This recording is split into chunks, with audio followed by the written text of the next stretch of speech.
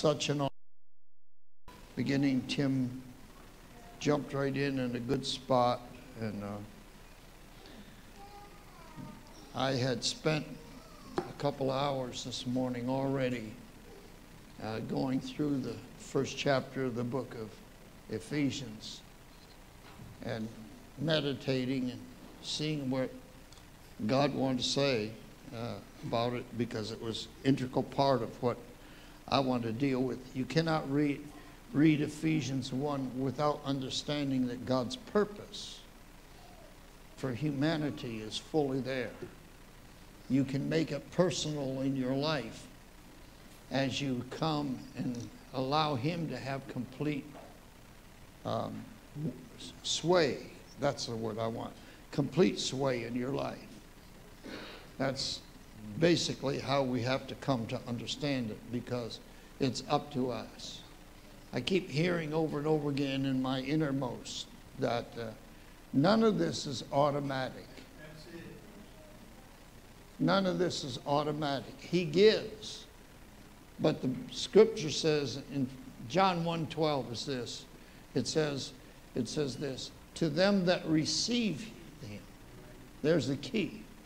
There's the trigger that sets the reality of everything that he's promised us.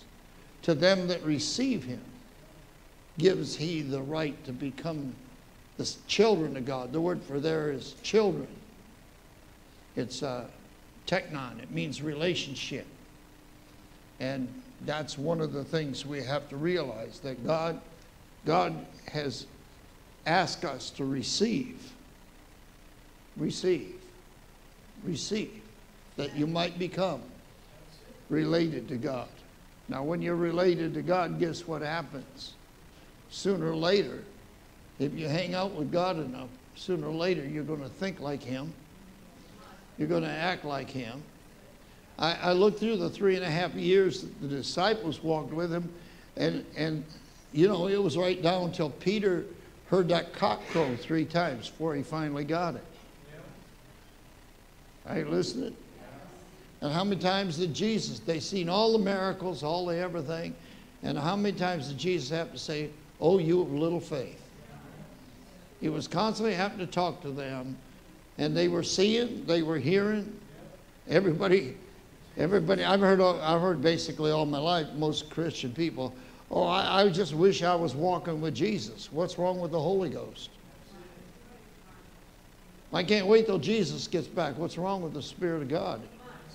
It's that Spirit that raised him from the dead. Are you all listening? It, it's much better than, than what we really realize. I, I'm, I'm, it's, it's so great. And when he started talking about the mystery, it's a mystery to 90% of Christianity, what God is really after. Most of them are still in the idea of, I just want to die and go to heaven because it's really going to be great over there. They haven't been there yet, so how do they know?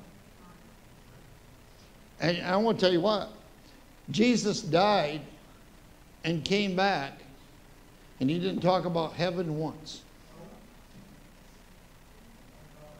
Spent 40 days with them and never talked about heaven once. What he talked about was the kingdom of God. Isn't that amazing? So, what are we after? We're after allowing Him to come and live His reality, His person, His kingship, His life, His everything through us. And how does it work? It works little by little. I love it the way Isaiah says it. It's going to come here a little, there a little, line upon line, precept upon precept. How's God going to deal with us? You got every one of us got precepts in our lives that's got to change. Okay? And what he does, he brings us up against situations where our precept don't work.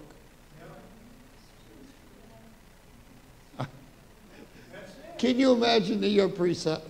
I thought it. I know it's right. How wrong can you be just because you thought it? Precept upon precept. Here a little, there a little. That's how God works. He brings you through situations. Your precept, you try to put it to work, it don't work. Sometimes you have to survive the consequences or hope you survive the consequences before you change your precepts. So God is really after us to develop uh, this mighty king, this mighty God, this delivering God that wants us what he's already promised us. He already, he already declared we're, we are kings and priests. He didn't say we're going to be. So you're a king and you're a priest. Guess what happens? You got to function like a priest. You got to function like a king. You got to do it that way, the way God wants it. So that's what we're going to do. Amen. And it just doesn't work that way in here. Just because you show up here doesn't mean it's automatic.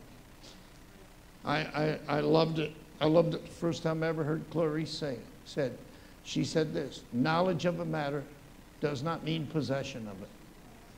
But I want to tell you what, if you got him, you've already got possession. You just got to learn how to function it. Listen to him. Allow him to work it out in your life. Amen? Well, I got a couple little statements to make.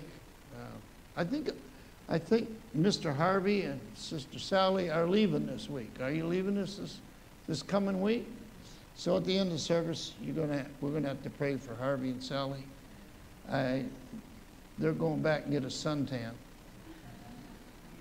Anyway, and Anne-Marie, she's going back, and. Uh, She'll, she'll get outside because she's always cold. I mean, she's the only person I know that I went to the beach with and she had to put on a sweatshirt. So, but uh, she'll be going on Wednesday. I'm not really sure what day Harvey and Sally's going.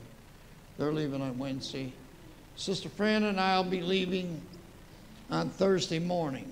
It was up in the air, but I think it's finalized. We'll be leaving Thursday morning. Um, next Sunday, I'll be, I'll be preaching at uh, the church in Port Huron, or Kimball Township is really what I should call it. The church in Port Huron, Kimball Township, I'll be preaching there next Sunday. And uh, the Sunday following that, I'll be at uh, a church in Highland, Michigan. Uh, Brother Danny and Sister Gail's church. Um, that church, we're down there sharing with them and sometime in the following week we'll be home. Um, this coming Thursday, Stephen's going to share. So everybody come out and hear what the man of God has to say. Amen. The following, the following Thursday, uh, Brother Ed is going to share with us, and uh, I'm I'm looking forward for all of this to get on so I can listen to it. Well, on. Uh, overhead. And then the 13th, uh, the Thursday of the 13th, Brother Danny was going to share with us, share with you. I'm not sure whether we'll be home that day, but we'll try. Um, Sunday, next Sunday is Tim, and the following Sunday is Brother Bud. So we're we're pretty much covered here at the church. Um, I think we all know how to behave ourselves and um, and uh, and help one another, uh, do for one another, go the extra mile, and do all of that. So I just, I'm, I'm just hopeful that it, it all gets done. I, um, I don't know if there's any, anybody else we got to pray for or anything, but we're, we're, looking forward to that. Praise God. If you've got your Bibles, um, where am I going to start, Lord? Where do, you... Okay. I want to I want to kind of hit the last few aspects of purpose. We, you, as you know, we've been dealing with. Uh, we dealt first with passion, prayer, and purpose. The things that will cause us to move forward into God without passion, but you can have you can have passion and have it in the wrong direction, with the wrong focus. But when we're talking about having passion for what God is after, we, that's exactly what we got to have. God, um, we, we covered this in when we covered First John on th- last Thursday night. said, whatever, whatever you ask in his will. One of the things Tim covered today out of Ephesians was the mystery of his will. The key is the word, the word mystery that he pronounced so well, mysterion, means, what it means is something hidden. Okay? And primarily, it was a rabbinic um, statement in the Greek where the rabbis, as much as they dug into the word and how they did the word, got it, it's, it's, a, it's a real study. If you really do a study and find out how deeply they went into the word, and they would, they would take the Hebrew, and every Hebrew letter had a number. And they would they would number the letters going this way, and they would number the letters going this way. And they always had to total up to exactly the right translation or the right understanding. A lot of times we in our English get messed up in some of the words. We translate some of the words one way and they mean another thing. Like uh,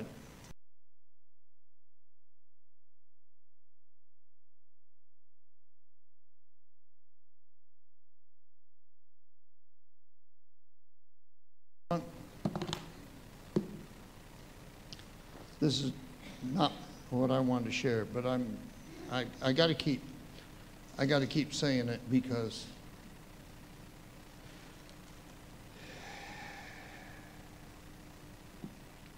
Ephesians chapter 1, I'm going to I'm going to begin in verse uh, 3. Blessed be the God and Father of our Lord Jesus Christ, who hath blessed us with some spiritual blessings how much? Is that what it says? What translation you got? Oh. You want to know what the Greek says? It says every one. That leaves nothing out. The Greek says God has already blessed us with every spiritual blessing there is. You, there's, there's no more spiritual blessings to get. He's already blessed us with them. We just got to learn how to get a hold of them and take them. Get to them. We got to understand what the qualification is. Okay, I, I don't want to preach. I'm, I'm going. Bless us with all spiritual blessings in heavenly places if you have a King James Bible, you notice that the word places is in italics. That means it is not in the original, it was added. Because if you take out the place, then the heavenlies aren't become a place, they become a state of being. Say spiritual things, spiritual things. are heavenly. Say God is heavenly. Because God is a spirit.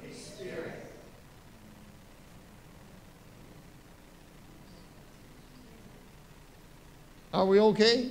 Okay, let me, let me read. I, didn't want to, uh, but I'll deal with it anyway. According as he has chosen us in him, uh, sometime after he built everything. Before what? Oh, then he chose us in him before Genesis 1, right?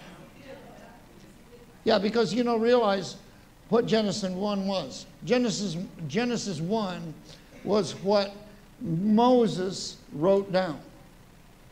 Okay? You, you, you all know what that is? And Moses went up there to see God. And he said to God, he said, I want to see your face. And God said, No, you can't see my face. You can only see my backside.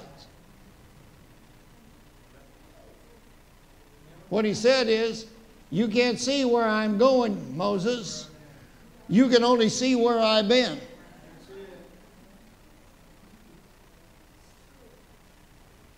Are you listening? So what's behind? So all he did was he spent the first 25 verses of talking about the earth being without form and void, and darkness was on the face of the deep. Wait a minute.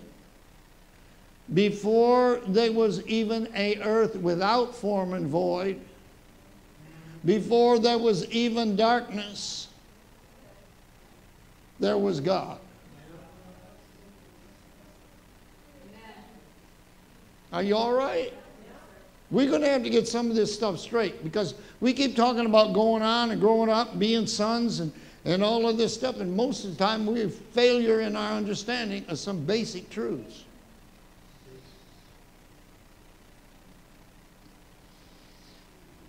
He has chosen us in Him before the foundation of the world. For what purpose? That we should be holy and without blame before Him. You read Revelation 20, he, talks about a judgment, he talks about all that stuff. He, in another two places in the New Testament, Paul wrote and said that you're going to give an account for the things done in this body. Are you listening? But if you're in Him and you walk in repentance on an ongoing basis, guess what? Everything behind, God forgets. Even God forgets.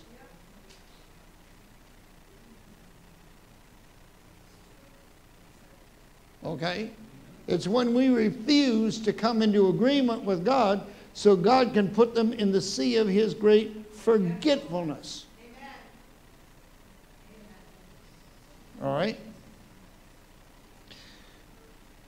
Having predestinated us unto the adoption of children. There's the word I wanted to deal with. The word adoption is a misplaced word in our modern English. Do you understand? We all know what happens if somebody don't take care of their kids or whatever. Well, they don't do that much anymore. They just abort them before they have them.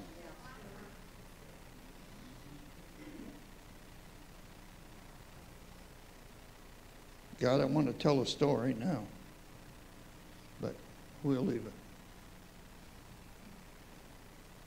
But the word adoption in the Greek is a Greek word, weos, made up of two words. Weos, which means mature, grown up, adult. Thesion,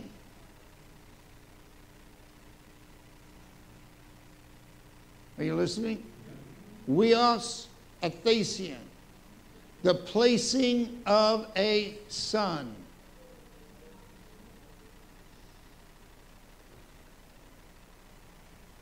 That came in Jesus' life, in his experience here on the planet.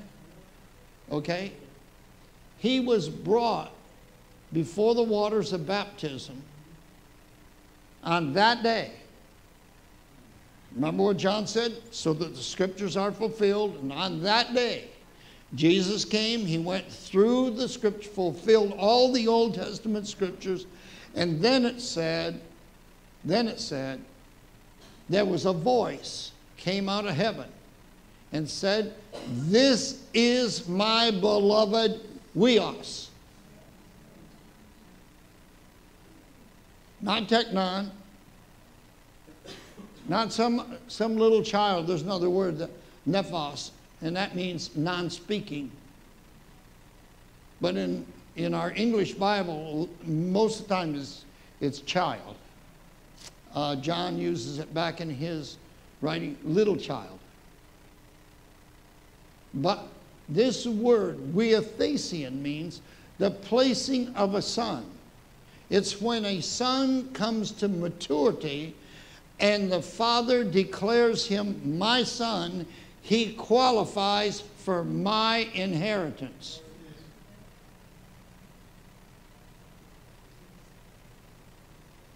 Do you understand?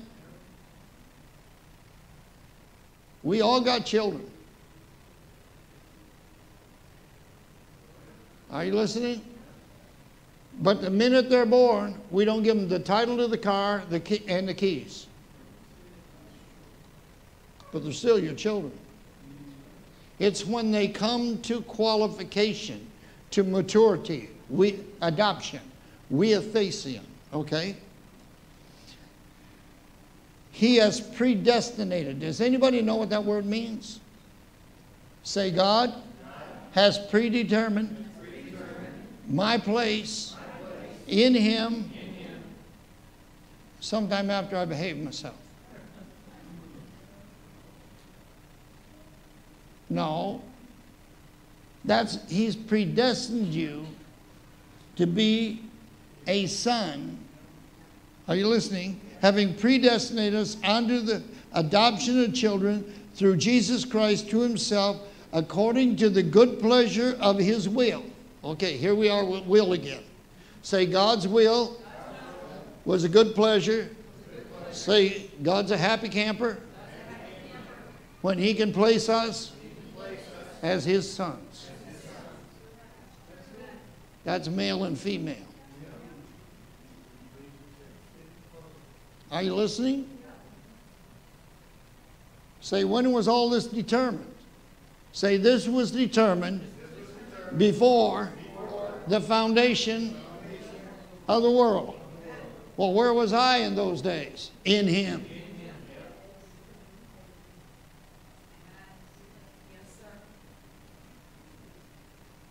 Spirits just don't come, grow on trees or on a bush or something. And when you're decided to come along, your whoever produced you decided to come along, and God just goes over and picks a spirit off a tree and said, "We'll plunk it in here."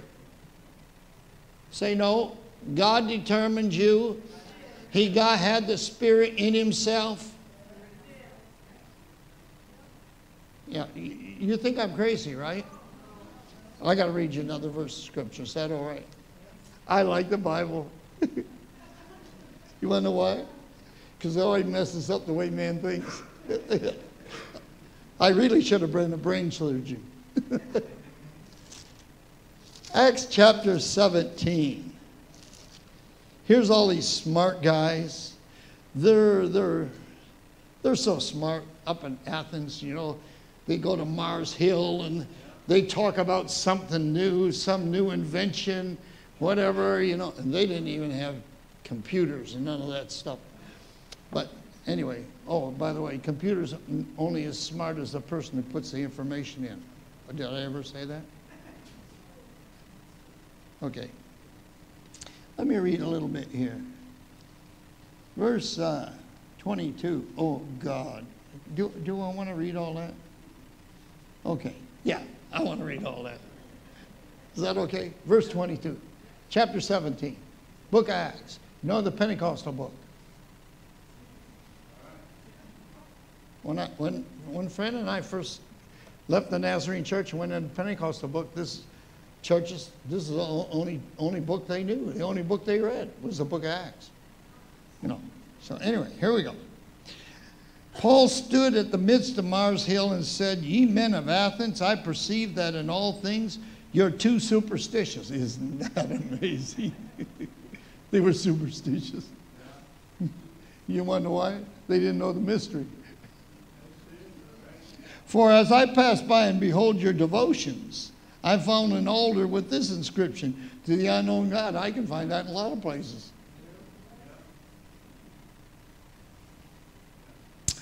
Whom therefore ye ignorantly worship him and declare, um, him, I declare unto you.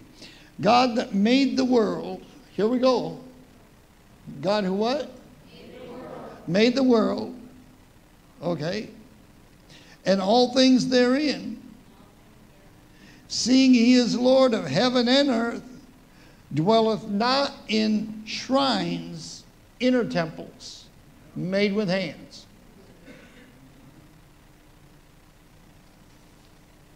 Okay. Neither is he worshipped with men's hands as though he needed anything, seeing he giveth to all life.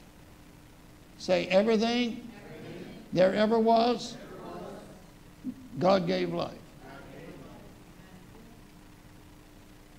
I could mess your brain up, but even the serpent in the garden, God said, the scripture says, that he was the most subtle thing that God made.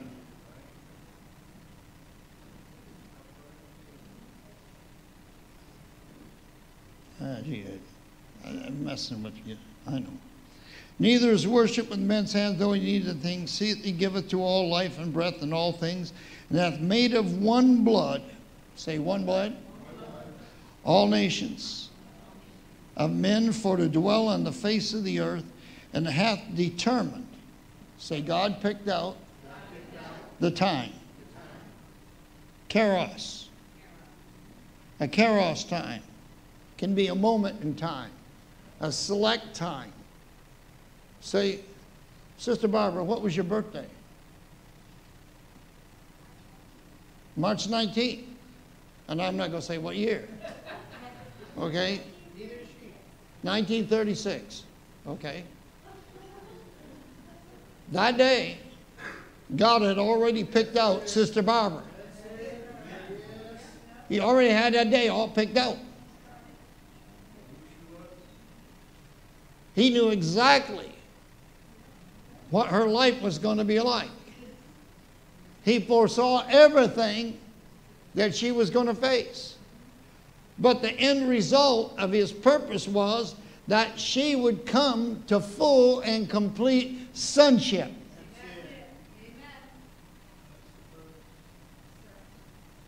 Say, you don't know what I went through. Well, let me say this.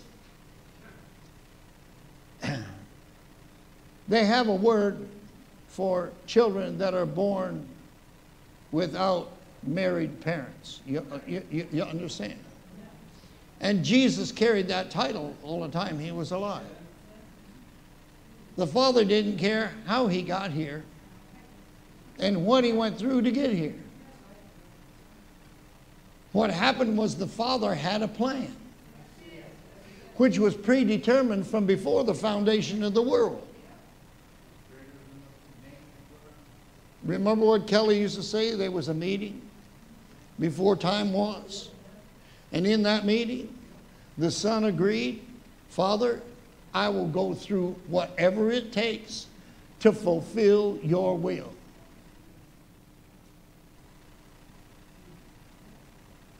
Maybe I ought to ask you that. Are you willing to go through the Father's will to obtain His purpose in your life, seeing as how He sent you out of Himself to fulfill a purpose on planet Earth.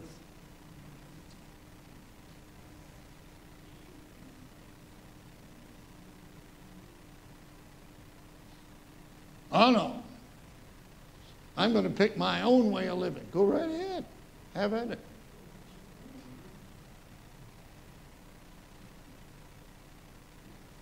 We all got the same choice. But the one design plan is right here. God has predestined us to be conformed to the image of the Son, His Son. You have no other choice. Oh, yeah, I guess you do. You do have a choice. I was, uh, I had the opportunity last week to uh, go to uh, Andrew's grandfather's uh, wake, funeral. And I had met his grandpa years ago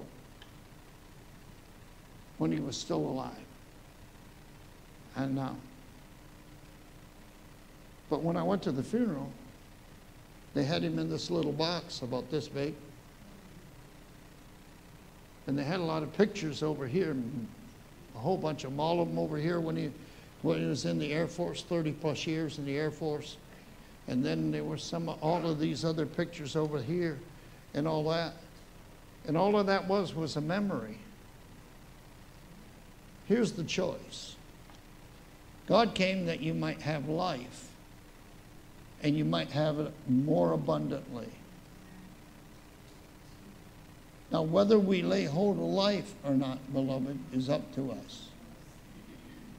For this corruptible,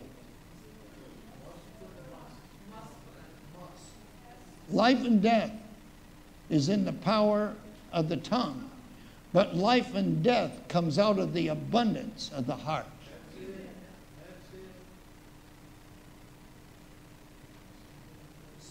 So here's the decision maker on whether we live or die.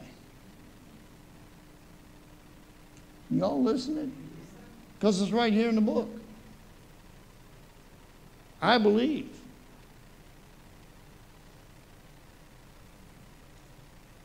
I'm going to be more than just a pile of ashes someday.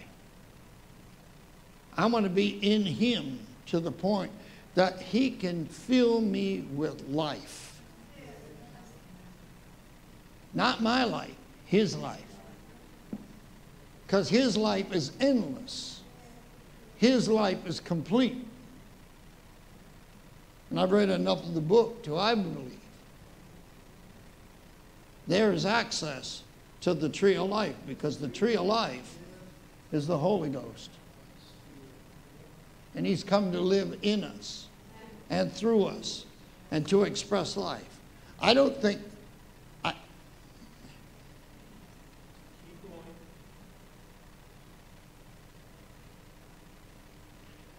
I, just don't think living forever is the only answer. There's still work to do. Because the whole creation is groaning and travailing for the manifestation of the sons of God. Once the sons of God are manifestation full of life, it's got to take the groan out of creation. It's got to fix what's not right. How is it going to do that? Because it's going to become the glory of the Most High. Say, God has told us multiple times in the scriptures. Oh, turn with me to Isaiah. Is that all right? Turn with me to Isaiah chapter 11.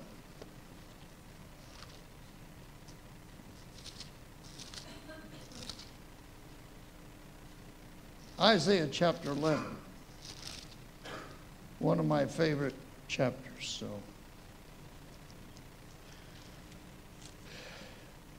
Chapter 11. You all right? And there shall come forth a rod out of the stem of Jesse. Say, Jesse, Jesse. had a rod, and he had a stem. Say, David, was the rod out of the stem. And a branch shall grow out of his roots. Jesus, are y'all listening? Was the root, the foundation. And out of him grew a branch. What do you get on branches? Fruit. How many have ever heard the statement, a branch man? A branch man. That's what the sons of God are. They're branch men.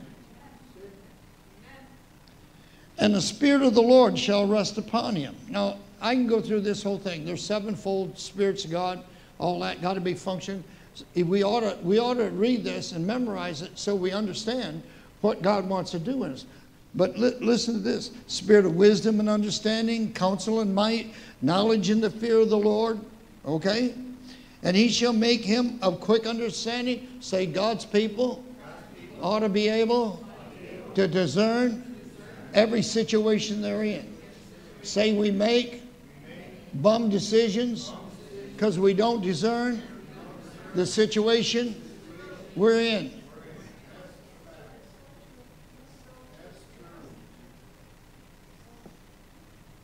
Ninety percent of the time, we make decisions to make it easy on my flesh.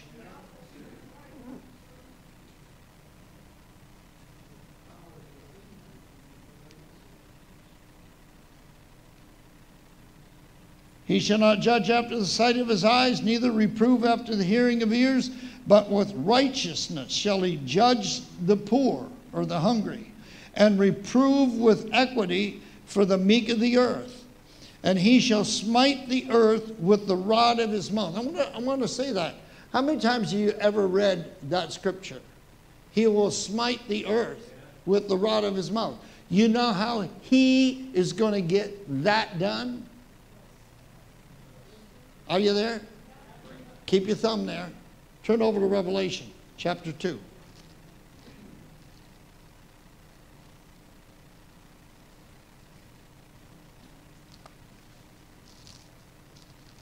Revelation chapter 2, verse 26 and 7 and 8. Okay? Well, let's start with verse. Let's start with verse 25. But that which you have already, hold fast till I come. That come does not mean the physical coming. It means till he comes on the scene and gives you the, the empowerment to do what he wants. Okay? It's a different word. And he that overcometh, are you listening? Who's the he? That's the ones in the church. And he that overcometh and keepeth my works unto the end, to him will I give authority over the nations. And he shall rule them with a rod of iron as the vessels of a potter shall they be broken to shivers, even as I received to my Father, and I will give him the morning star. So we already know who's talking Jesus, right? And he says if someone or a group of someone's in the church will overcome, keep his works to the end, I'll give you authority to speak into the nations. It's time this church learns the principle of being able to speak into the nations. Let me tell you something. If you learn to do it and you do it constantly, it becomes just like getting up in the morning and having your coffee.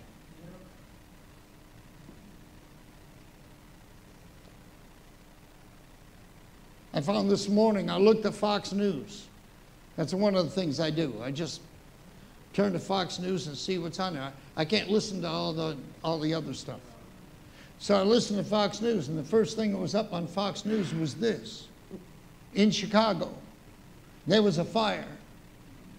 Two adults and six children got, got burned to death. That was the second thing that was posted. First thing was posted was John McCain passed away yesterday. One amazing thought about John McCain. John McCain passed away yesterday of brain cancer. Ten years ago to the day, Ted Kennedy passed away with brain cancer. And I began to pray and say, God, what's, what's this all about? There's, you're saying something here.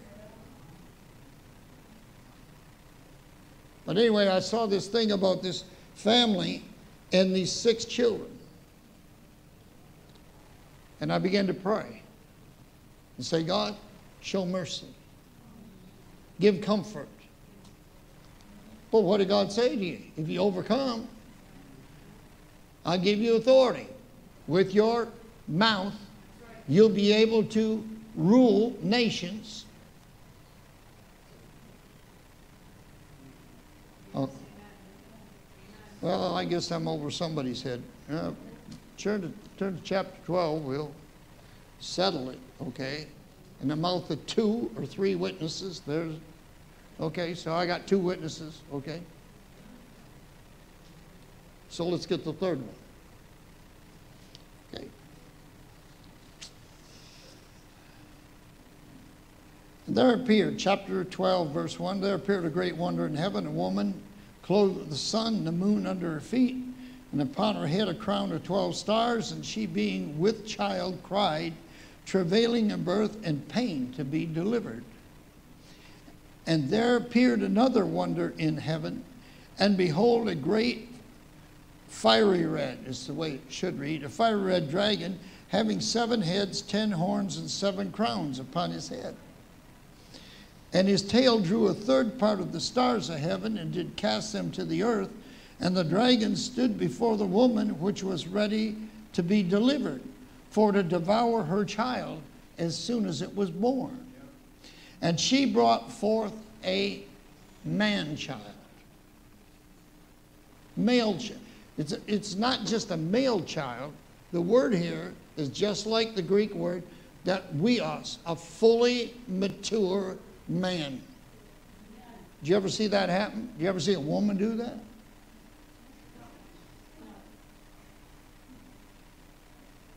I, I, I got a boy over here that weighed 914, I think, or 911, one of the two. I have a hard time. He came out hungry and he still is. But I never seen one that was fully mature. She brought forth a man child, listen to me, who was to rule all nations with a rod of iron. What was the rod of iron? It wasn't some big club he had in his hand, it was the tongue in his mouth that he could begin to speak reality.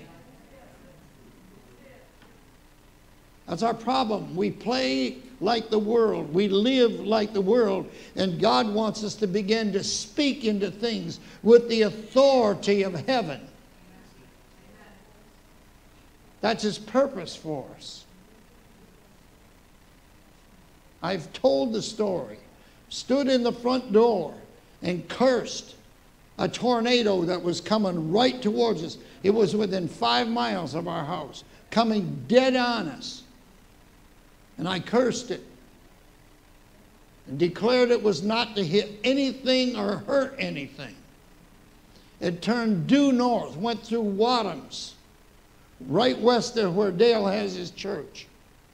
Went across the river, up in the farm country, through a bunch of cornfields, and went out into Lake Huron and sucked itself full of water and died. Say, God will give you authority over anything. It's time the church, this church, arises and begins to fulfill the call and purpose of God in its life.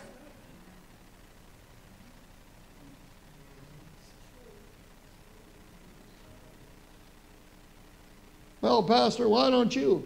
Well, maybe that's not my job. My job is to teach you. My job is to warn you. My job is to see you rise up and rule the nations. But before we can start ruling these nations out here, we got a head full of imaginations we got to begin to speak to. Sometime you got to look into your brain and tell yourself to sit down and shut up.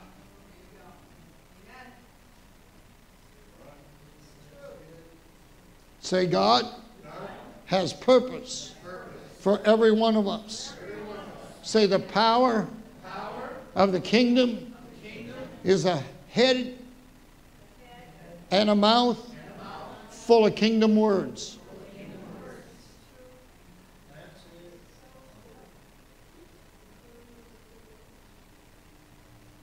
Back to chapter 11, and I'm going to finish. He shall smite the earth with the rod of his mouth, and with the breath of his lips he shall slay the wicked. And righteousness shall be the girdle of his loins. Right living is what God demands of the church. I'm sick and tired of seeing churches and preachers and people living like the world and doing like the world. Men that ought to know better leaving their wives and their families and running after other women.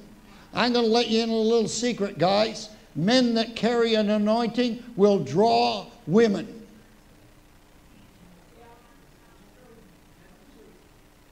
That's fact. Keep yourself.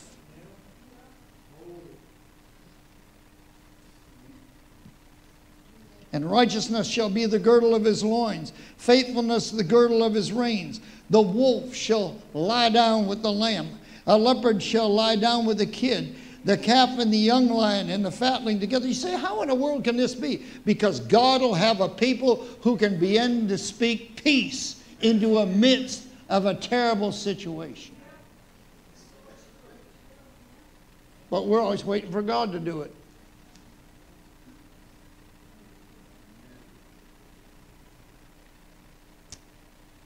The cow and the bear shall feed, the young ones will lie down together.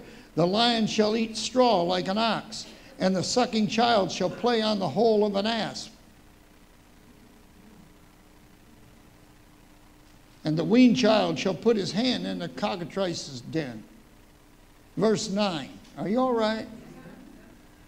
They shall not hurt or destroy in all my holy mountain. You say, well, where in the world is that? That's wherever God's people are.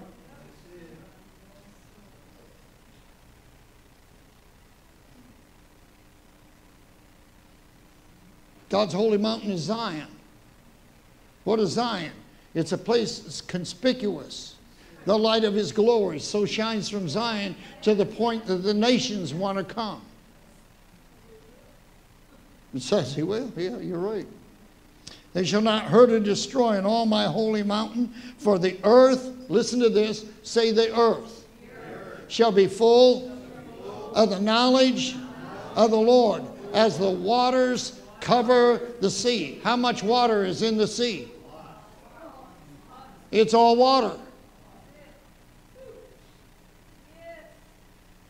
Are you all listening? How much water is in the sea? It's all water. So if the knowledge of the Lord is going to cover all the earth, then the knowledge of the Lord is all there'll be.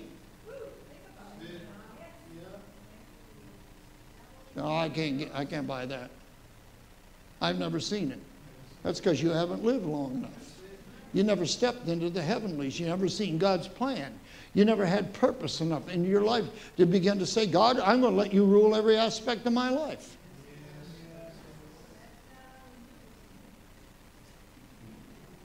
Not even Fox News is going to get that one. Are you listening? This is not to fulfill the lust of your flesh. This is to fulfill the divine intention of an almighty God. That's why you're here. You say, well, things are going haywire in my, wife, my life. Well, speak to it in the name of Jesus. Declare his victory over it.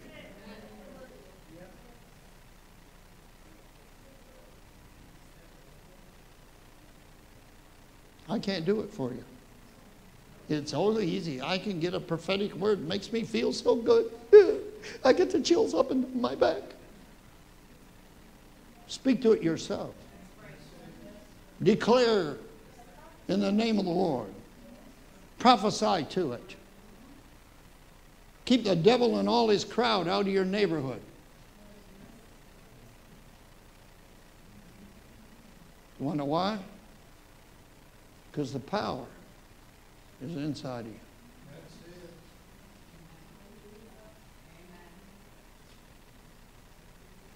Oh, and by the way, it ain't Democratic or Republican. It's kingdom of God.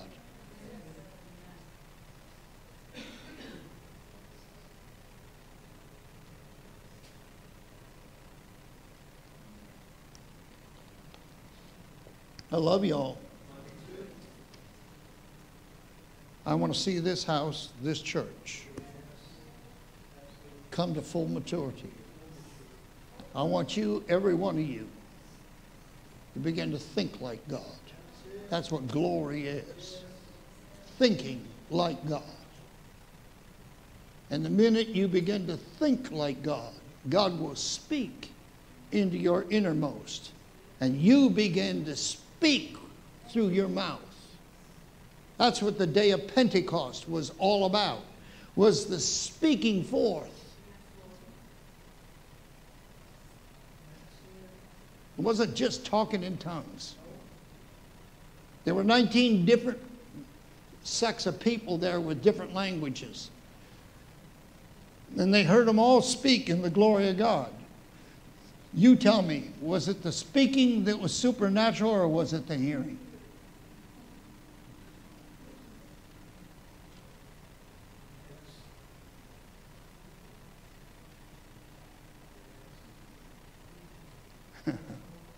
Am I being too tough, bud? It's really true. It'll work in your life. I've learned that if you begin to declare in the name of the Lord and you speak according to the will of God, it'll come to pass. But it may not come on your timetable. Let me tell you something. You can declare over your kids, your family. God said, Thou shalt be saved in all my house. Why in the world do we give up? You might even die. But die declaring.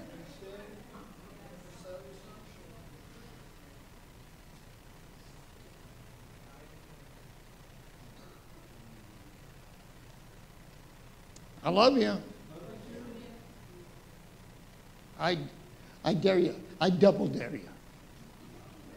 I double dare you this week to take some so called impossible situation in your life and begin to speak the word of the Lord into it. And just see if God don't answer.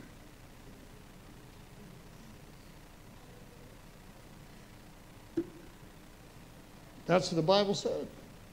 Said they'll not hurt or destroy in all my holy mountain. The knowledge of the Lord going to fill all the earth. You all want to know what the purpose is? You want to know why I'm passionate for this thing? Because God's got a purpose that's beyond human comprehension. It's beyond your ability to think. It's never been seen and it's never been done. But God wants to do it in this hour, in this season, in a people who are willing. Amen? Amen. I guess I'm done. My challenge for you is when I come back, when I come back, have all your imaginations under control. Speak to them. I'm going to tell you, 90% of us, we think just because we think it, it's right.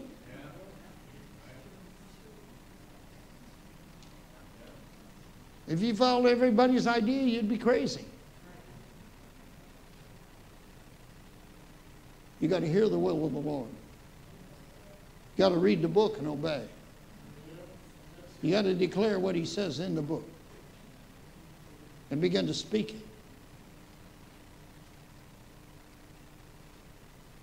God had it on plan for ages and ages, but when he spoke, it began to happen. Say, God, when you let me speak.